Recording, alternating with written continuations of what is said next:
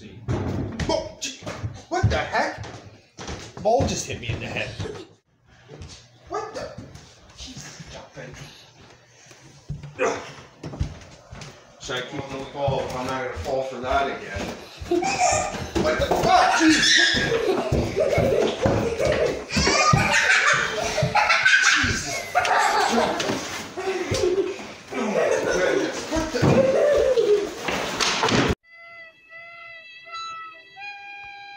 Well done.